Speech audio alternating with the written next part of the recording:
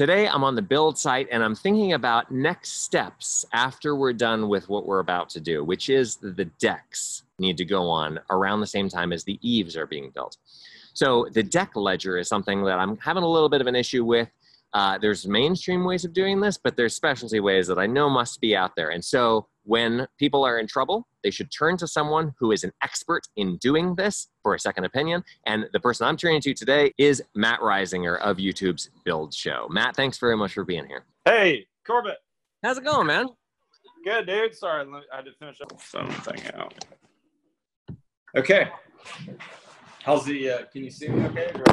Yes.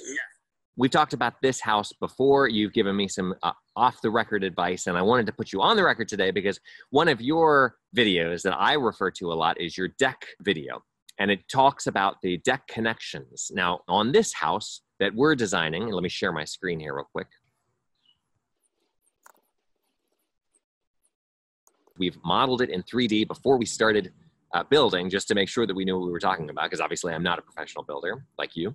So we've got a balcony on the front and a deck on the back here that you can see. And the detail for attaching this thing is getting a little hairy. So here's what I need to do. I've got my foundation wall. I've got three inches of rock wool insulation outside of a dimple board that's for drainage. I've got two inches of rock wool insulation above grade, uh, and then my rain screen. And what I need to do is take this deck, and attach it to the house. Uh, this is called the ledger and this is called the rim and we need them generally to be pretty close to each other. So the way that most builders are going to do it is just slamming the, the ledger right up to the sheathing. So I've got a half inch gap between my ledger board and my rim board. And I've gotten rid completely of my exterior insulation. It's not my favorite. So what I saw on your video which was really helpful for moisture control, which is a big part of home performance, is this these deck spacers that are going to create a half inch air gap or an inch, whatever we want to use, between the uh, ledger and the rim board. But where I'm coming up against an issue is if I've got a little cavity that I'm creating that's bottomed by insulation and topped by insulation, basically I've got a little cave there that's not actually a ventilation gap anymore. Now it's just a space that the sun is never going to shine into, and I won't ever be able to find out what's going on in there. so, what I'm wondering is, what have you done in this situation? So, Corbett, I wouldn't do that first detail because you don't want an air gap that doesn't have airflow at the top and the bottom. Uh, and so, you don't want to trap that back at the sheathing. Um, the thought is good, but that execution is hard. So, what I would do instead uh, and is what I did on a perfect wall house a couple years ago that I built, where we had three inches of exterior insulation on the house. And where the deck ledger was going to be attached, what we did was we made some one foot sections of two by 10, which is the deck ledger size. So we cut a bunch on the chop saw at one foot and we put two of them together sandwiched and then lag bolted that into the, uh, uh, into the house.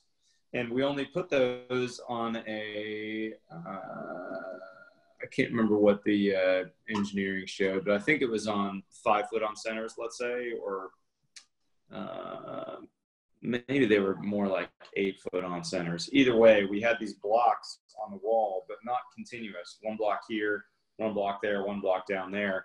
So then we could run our exterior insulation continuous, and not all the ledger, but most of the ledger uh, was insulated, and then we attached our ledger board to that that also allowed me to get my waterproofing uh, on those two bys uh, correctly and flash those in.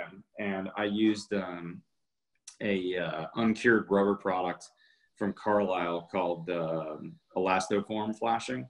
Okay. And that's that's a really flexible type of flashing that allowed me to tuck it up underneath my WRB, flash around those box blocks. Any water that came down would come in and around and then the face was open to accept a lag uh, or TimberLOK from the ledger that was uh, going to go on there. And then the insulation was continuous. One thing you could do if you wanted to as well is put a little sandwich of uh, some uh, more compressible resistant insulation like XPS mm-hmm. Uh, in that block as well. So you could you could cut a uh, let's say inch and a half thick XPS and then put your next layer of one foot two by ten on there, and then attach your ledger to that. And then you'd, you'd at least have some thermal break because you're in uh, climate zone four or five where you are. Yeah, it's not that bad, but it's just something that I'm I'm wanting to make this thing as perfect as possible. And since I'm spending so much time trying to get this insulation right, like an entire 40 foot section of ledger was really making me crazy. Yeah, well, you can get you can knock that down by at least 25 percent by uh oh did I lose you there for a second? Sorry about that. Yeah, I call through. Um, you could knock down at least 25% of that by just doing those double two by tens every, uh, you know, let's say six foot on center, five foot on center. You might need to check with your engineer depending on how much weight uh, you're talking about. Yeah. But if you lag those in thoroughly, there's not a lot of uh, it's not a lot of potential for for issue there. Awesome. And if I had the chance to finish out with the rain screen and then clad behind the ledger altogether so that then the ledger starts a half inch out from all of that stuff, would that be better? Now, um, yes and no. What you could actually do is put your deck spacer. I would put those double two by tens right up against your shear wall, whatever you're using Mhm. currently, so that so those double two by tens are nice and uh, uh, nice and solid against the house.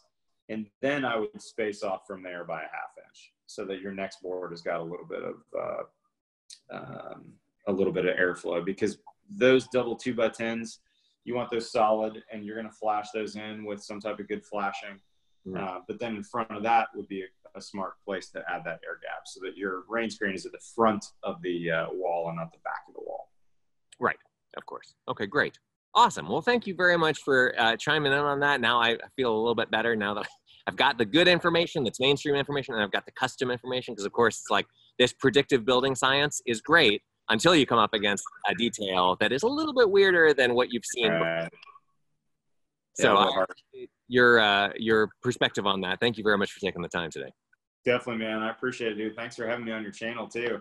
Absolutely. To, uh, hopefully, I'll, I'll see you at uh, an event one of these days so we can do some filming together. Yeah, I'll see you at IBS, or you know, if you ever make it out to the Home Performance uh, Conference. But for my audience, if you haven't seen the Build Show with Matt Risinger, go over to his channel right now because there's a ton of videos. He makes way more than I do, for example. So, Thanks, once again, Matt, Appreciate it, man. have a great day. All right, buddy. Catch you later. Later. Talk to you soon.